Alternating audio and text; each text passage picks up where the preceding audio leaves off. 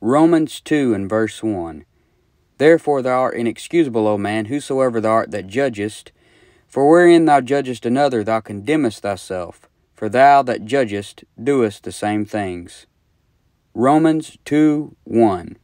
Therefore thou art inexcusable, O man, whosoever thou art that judgest.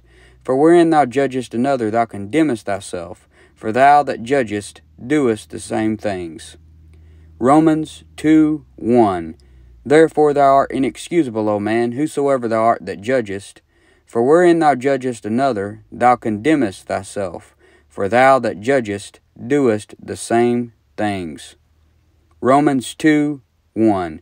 Therefore thou art inexcusable, O man, whosoever thou art that judgest. For wherein thou judgest another, thou condemnest thyself. For thou that judgest doest the same things. Romans 2 4. Or despisest thou the riches of his goodness and forbearance and longsuffering, not knowing that the goodness of God leadeth thee to repentance? Romans 2 4. Or despisest thou the riches of his goodness and forbearance and longsuffering, not knowing that the goodness of God leadeth thee to repentance? Romans 2 4.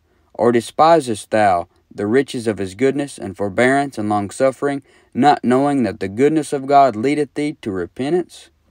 Romans 2 4. Or despisest thou the riches of his goodness and forbearance and longsuffering, not knowing that the goodness of God leadeth thee to repentance? Romans 2 5.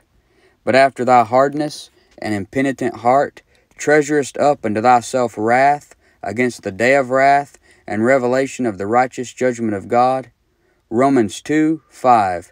But after thy hardness and impenitent heart treasurest up unto thyself wrath against the day of wrath and revelation of the righteous judgment of God. Romans 2 5. But after thy hardness and impenitent heart treasurest up unto thyself wrath against the day of wrath and revelation of the righteous judgment of God. Romans 2 5. But after thy hardness and impenitent heart treasurest up unto thyself wrath against the day of wrath and revelation of the righteous judgment of God. Romans 2 6.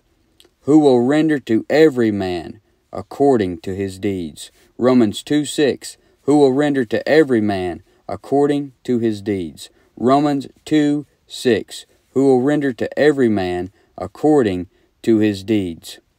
Romans 2:11 For there is no respect of persons with God. Romans 2:11 For there is no respect of persons with God. Romans 2:11 For there is no respect of persons with God. Romans 2:11 For there is no respect of persons with God. Romans 2:16 In the day when God shall judge the secrets of men by Jesus Christ according to my gospel. Romans 2:16 In the day when God shall judge the secrets of men by Jesus Christ according to my gospel. Romans 2:16 In the day when God shall judge the secrets of men by Jesus Christ according to my gospel. Romans 2:16 In the day when God shall judge the secrets of men by Jesus Christ according to my gospel.